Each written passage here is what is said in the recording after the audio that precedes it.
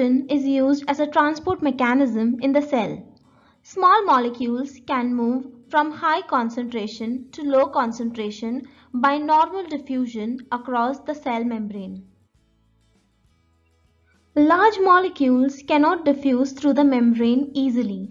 Thus, the cell uses a protein to aid diffusion. This type of diffusion is known as facilitated diffusion. The protein can either be a carrier protein or a transmembrane channel. At high concentration or hypertonic conditions, the cell has more number of solutes and less number of water molecules. However, the external environment has low concentration of solutes that is hypotonic and more number of water molecules. Osmosis is the diffusion of water molecules across a semi-permeable membrane. Remember, osmosis can only occur across a semi-permeable membrane. However, diffusion can occur in a mixture and across a semi-permeable membrane. The water molecules move from a hypotonic solution to a hypertonic solution. As the hypotonic condition has more number of water molecules as compared to the hypertonic solution.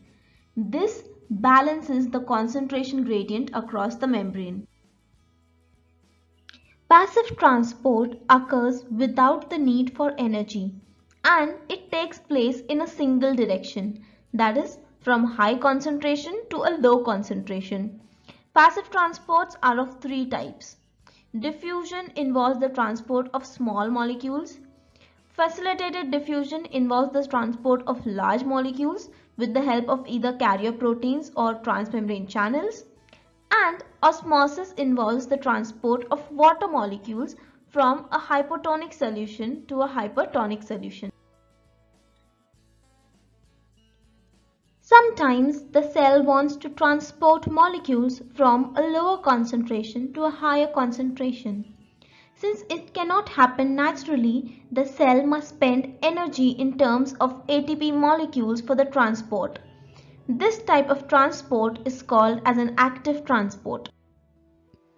If this video was helpful, then please like this video, share it with your friends, subscribe to my channel and don't forget to leave us your valuable comments. Thank you.